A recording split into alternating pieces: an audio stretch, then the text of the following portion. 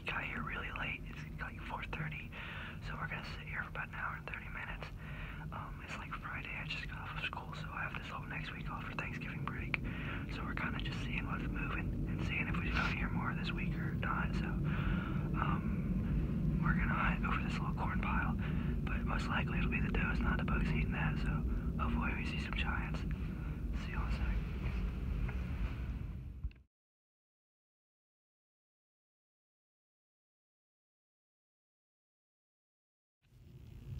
Okay, so guys, uh, legit, like, maybe 10, 15 minutes after sitting down, that buck, I'm not, uh, for sure yet, but that buck I've been talking about, it was an eight pointer for sure. I'm not sure if it's the one I've been talking about, but he walked out on that path right down there, and I got it on video actually on a time lapse. You can see the buck. Uh, I'm thinking, I'm gonna try to figure out if I can slow it down to see how good of the shot it was. I felt pretty good about it, but, uh, we Matt and Adam and tried to get him to stop, and he didn't stop, and then he uh, went behind a tree, and then came right back out, and that's when he stopped. We rattled uh, and grunted at him. We didn't grunt at him, but we uh, when we sat down, because I told you always get down, we sat down late. We rattled and grunted at him to uh, just like cover up our walking in late and that sound. And uh, sure enough, that buck came in. He wasn't really, uh, when, even though we tried to stop him, he wasn't stopped. He didn't really care what we had to say or anything. He just uh, stopped, turned, and uh, I feel like I made a good shot. We're going to give it about 20, 30 minutes, maybe go look, and then we'll go from there on the tracking. And uh, hopefully I made a good shot. Hopefully I knocked him down, and uh, see y'all hopefully with the deer. What's up guys, Evan Brown. Um, right now it's like 9.30, 9.45. I didn't go hunting this morning. Uh, the clips y'all just saw, me talking, that was last night. Um, I shot at the eight pointer. It might have been a nine, but pretty sure it's an eight pointer. And uh, after looking back at the film, Still really can't tell how good the shot was or anything. We looked for blood for a decent amount. We're not sure really where I hit him or if I hit him because there were some branches that I could have hit. But we're calling in these uh, dogs that are really, they found my first deer also. They're gonna come around lunch today. We've let the deer sit overnight, so if he's dead, he's gonna be dead when we go look for him. Um,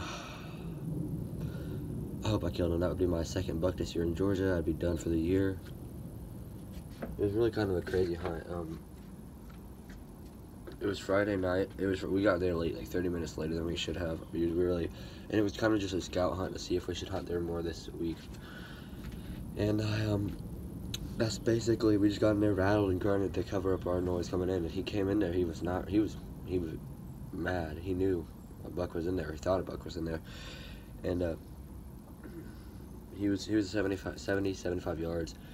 That's same uh, box blind that I shot my first buck out of this year. Um, it was a good eight pointer, be my biggest buck. And hopefully I kill him. Uh, I'll hopefully get to film with him.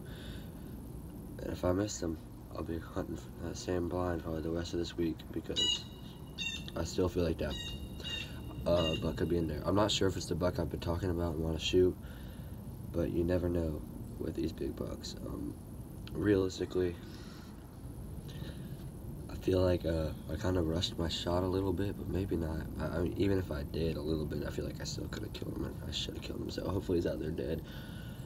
Um, the feeling you have right now after not knowing if your buck is dead, your biggest one, is, kind of a crappy one, honestly. Like you're just like, man, hope I killed him. Hope he's dead out there in the woods. It was legit the buck. 200 yards that way, back behind our house. So hopefully he's dead back there. Um, and as I said, if he's not, we're gonna keep hunting, try to get another, try to get my buck. So hopefully, the next time I'm talking to y'all, I'm either filming a blood trail or I'm filming a buck with it in my hand. So hope y'all enjoyed this whole segment. Hope y'all enjoyed this whole video. Basically, um, like idea of this whole video was I was gonna be like, because I already did that for. I was gonna show like clips of me hunting and then like throughout the season for this one buck and have the buck where I shoot him at the end. And I actually got a time lapse of it, which isn't great. I'm gonna stop doing time lapses because like time lapses are good when the deer are walking around, but buck like that, walk, you see him walk, but you, you have to be looking in the spot where you see him walk, runs back, and you can't really see a lot. But so I'm gonna stop doing time lapses. I'm gonna straight up film. It's the first ever buck I've actually filmed me shooting, and I, am kind of proud of that. It's kind of cool to see a buck on camera. But you know, um, hopefully he's dead. Hopefully I killed him realistically hope my season's over because I hope I can find that buck. Well, actually, I haven't shot a doe yet, so I can still hunt some late season does. with my uh, bow and try to kill a doe with a bow. I really keep hearing something, but I think it's just a squirrel. So hopefully that buck's dead out there, and hopefully we can find him and uh in the hunt for this buck. Really, really do hope that. So hope y'all enjoyed this little segment. See you in a minute. Well, boys and girls, I missed. I may have nicked him, but I, I, I definitely didn't have a fatal shot, so I still have homework to do because I am I've not fulfilled my second buck tag. So I'm not sure what the plan is. I'm probably gonna hunt tonight. Probably gonna hunt tomorrow night. Probably gonna hunt the night after that. Probably gonna hunt in the mornings too.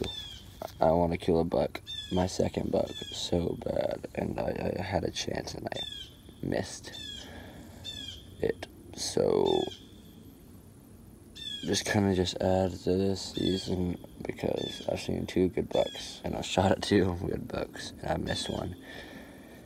And I'm pretty upset at the moment. I'm not sure what the plan is for hunt tonight.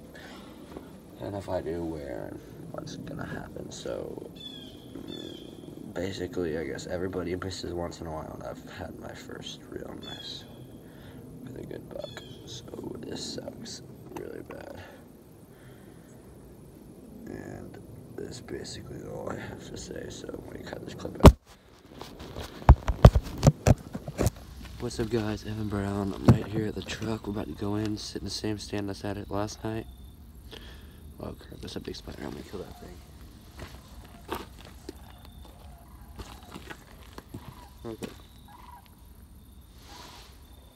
Never mind. Okay, sorry. Um. So here I got my uh I'm already basically packed up. I got my gun loaded. Everything's ready. Or not gun. My gun's not loaded. Gun's ready. About to go hike out. Um, we sit in the same box that I saw that eight point yesterday in, and I missed, which sucks so bad. And I'm still kind of upset about it. That's why I'm going to sit in. We're gonna go in around 4:15, 4:20, which is still a little bit kind of late. So I'm gonna sit down. I'm gonna try to be uh, quiet, and that's why I'm doing this intro here. I'm probably gonna rattle, grunt, do exactly what I did last night. Just try to get in the move. Uh, hopefully, I get this bug. I'm so ups so upset that I missed that one yesterday. It's like the worst feeling in the world if you've ever missed a buck, and it was your biggest. Like it was my biggest buck, and I, I just missed. Like I have never really missed a deer before, five for five until that point, and I missed. So it sucks. It really sucks. I'm here, camo on. I'm about to go sit down. Hopefully, I'll kill me a big buck. See y'all in a second. Yeah. Sitting in the blind that I've sat in like eight times this season. I've seen deer almost every time. We kicked up two fawn does sitting out here eating the corn when we came in. Um, yesterday, as I said earlier, I missed an eight pointer out of this blind. It came out and was down there in that path about 70 yards. I'm not sure if it's the eight pointer I wanted to shoot, but it was a good one. It would probably be my best. So hopefully either him or another one will come out. We're probably gonna grind or rattle to try to get him riled up, and uh, maybe he'll come back. Hope y'all enjoy. What's up, guys? I just got back um, from that hunt that the uh, whatever the intro, those two intros are from. I didn't get any footage of the deer, but I did see five. I saw um, when we were walking in, we kicked up two does, uh, two fawns. Anyways, and they were on a corn pile, and then we got we sat down like 35 minutes into the hunt. We saw a spike, and he walked the exact same trail that I bucked it that I shot at yesterday did, and uh, I mean I, I, put, I pulled up a scope just to practice, just from yesterday, just get it on the shoulder. I mean I wasn't gonna shoot a spike, because I've already used one of my tags, and then uh. It, the shooting light ended at 6:04, and we saw two does at a doe and a button buck at 6:03. And then when we uh we didn't want to just and then we shot a flashlight at them so they'd run away without knowing like where we were. And we don't want to this deer, uh, like make the deer smarter and know where they are. So that's why we just shine a flashlight. Um, basically that's all that happened tonight. Hopefully y'all have enjoyed these hunting videos, even though I haven't killed one. I know I've got more footage than I have in past year, So basically, that's it for this part one of chasing November. Even though I haven't, I, I did have an opportunity to kill my second buck in November, and I um I missed, but every all good hunters miss is what I'm told. So hopefully that's true. So this is the end of chasing November